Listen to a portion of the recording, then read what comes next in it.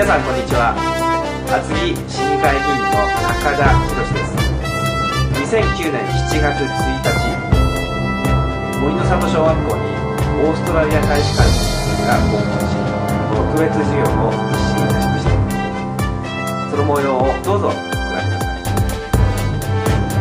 えーと、オーストラリア人が一年だっていうあの、まあ、ことがありました。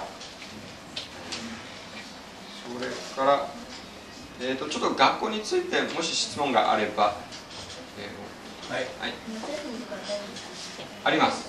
あの夏休み、まあ、夏は、えーと、季節は逆なので、えー、夏休みの長い休みは、えー、と12月からえー、1月までですね。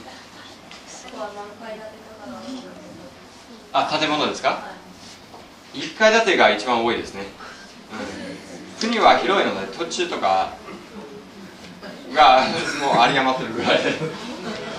それ違うんだね、うん、学校の様子ですよ。自分たちと比べてどうかなってことがあったら聞いてごらん。あどうぞ。ベランダとかあるんですか？ありますよ。まあでも2階建ての建物だったらまあこういうベランダがあるんですけど、うん、まあ1階のが多いからですねはいどうぞ。えっと日本の学校にはない教室みたいなのってあるんですか？教室って授業ってことですか？っていうかあのなんか例えば図書室とか。ああ大体同じだと思いますね。えっ、ー、と教室図書室保健室。まあ同じですね。ただ日本オーストラリアの小学校とかは校長室があって別になんか教頭室みたいなのがありますね。こっちは職員室の中に教頭先生がいいらっしゃいますよね大体。オーストラリアは多分別に教頭室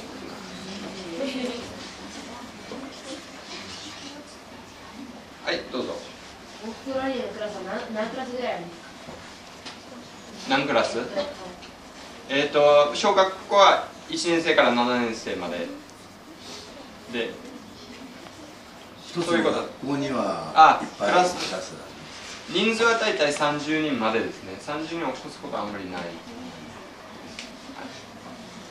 で学校によって、まあ、日本と同じく日本あの学校によってその人数は全然違いますね